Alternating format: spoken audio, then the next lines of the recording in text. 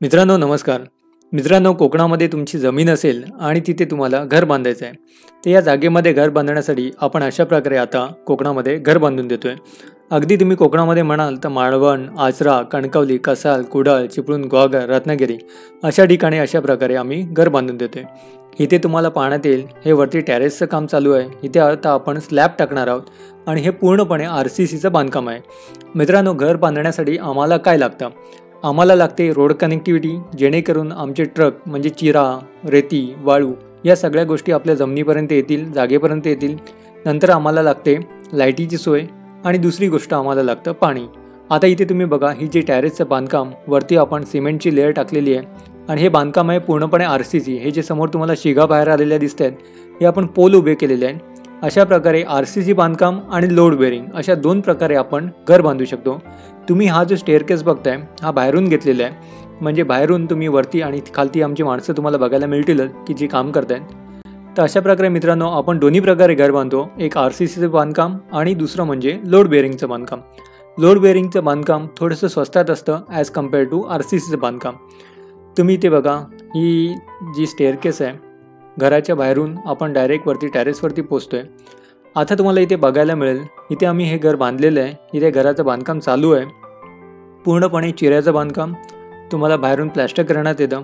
आणि या जे विंडोज दिसत आहेत खिडकी आहेत त्याच्यावरती आपण जे पाऊस येतो किंवा पावसाची झड मारू नये म्हणून एक छोटासा त्याला आधार असा आपण बाहेर दिलेला आहे. इथे जे बांधकाम चाललंय हे बघा अशा प्रकारे आपल्याला आपल्या टॉयलेट बाथरूमसाठी आपण खड्डे मारलेले असतात. हे पूर्णपणे कोकणी पद्धतीचं बांधकाम चिऱ्याचं बांधकाम. आता मी तुम्हाला जो आतला भाग आहे जो आतला बांधकाम चालू आहे हे मी तुम्हाला दाखवतो. इथे बघा इथे आपण किचन बनवते किचनसाठी मोठ्या विंडोज देण्यात आलेल्या आहेत. हा ओटा आपण एल शेपमध्ये चांगलं ग्रेनाईट वापरलेलं आहे. मोठ्या विंडोज चांगला मोठं स्पेस आहे. आणि बाहेर जायला एक दरवाजा दिलेला आहे. आता आपण पुढे जाऊया. हा जी समोर दिसते हे बेडरूम आहे.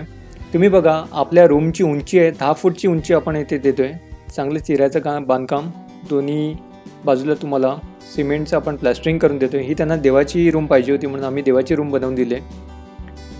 हा आहे हॉल हॉलमध्ये पण बघाल आपण मोठ्या विंडो चांगलं बांधकाम. आता काही दिवसात इथे आपल्याला खालती ज्या लाद्या असतात त्या लाद्या बसवण्यात येतील. फ्लोरिंग करण्यात येईल. विंडोला आपण अशा प्रकारे ग्रिल देतो आहे ही समोर तुम्हाला ग्रिल पाहायला मिळेल. काम चालू आहे. आणि आता आपण पुढे जाऊया. हा जो स्पेस आहे हा स्पेस आपण दिलेला आहे छोटासा समोरच तुम्हाला टॉयलेट वॉशरूम बघण्यात येईल. इथे आपण टॉयलेट वॉशरूम वॉशरूम करून देतो आहे आणि टॉयलेट बाथरूमसाठी आपण ग्राउंडपासून वरपर्यंत टाईल्स बसवण्यात येतात. मित्रांनो दरवाजासाठी आपण ही जी फ्रेम आहे बाजूची ही चांगली ग्रेनाईटची फ्रेम असते. आणि जो आपण प्लायवूडचा जो जाडा दरवाजा असतो तो दरवाजा आपल्या जशा बेडरूम्स आहेत देवाराची रूम आहे किचनला बसवण्यात येतात आणि टॉयलेट बाथरूमसाठी जे प्लास्टिकचे आपले दरवाजे असतात ते देण्यात येतात. चांगल्या प्रकारे ग्रिल लावण्यात आलेली आहे आणि हा आतला जो बेडरूम आहे हा मास्टर बेडरूम तुम्हाला पाहायला मिळेल. इथे सुद्धा आम्ही सेपरेट टॉयलेट बाथरूम देण्यात आलेलं आहे त्यांना. आणि थोड्याच दिवसात तुम्हाला इथे चांगलं कलरिंग केलेलं दिसेल ही रूम चांगलं फ्लोरिंग असेल. आणि अशा प्रकारे मोठ्या विंडो आपण देण्यात आलेल्या आहेत. हे पूर्ण आर सी सी बांधकाम आहे मित्रांनो. हे आर सी सीमध्ये आपण उभारलेलं वरती स्लॅब केलं आहे आणि वरती त्यांना टॅरेस देण्यात आलेली आहे.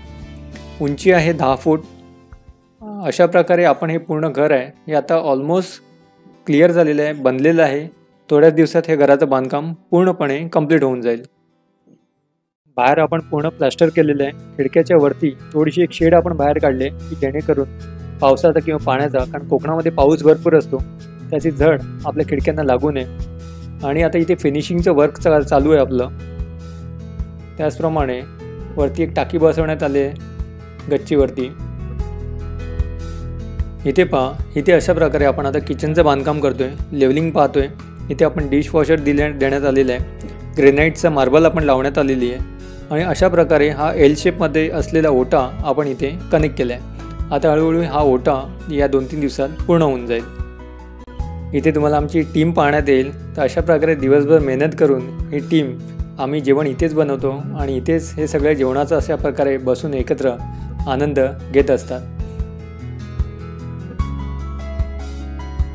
आता मित्रांनो मी दाखवतो हे बघा हे घराचं बांधकाम आम्ही कंप्लीट केलेलं आहे. ग्राउंड प्लस वनचं आहे. अगदी टॅरेस टॅरेसला वरती पत्रे लावण्यात आलेले आहेत. खाली टू बेडरूम किचनचं हे मोठं घर आहे हे बनवण्यात आलेलं आहे. मोठं अंगण आहे अशा प्रकारे अगदी तुम्ही अंगणात आरामात बसून हा जो कोकणातला आनंद आहे एन्जॉय करू शकता.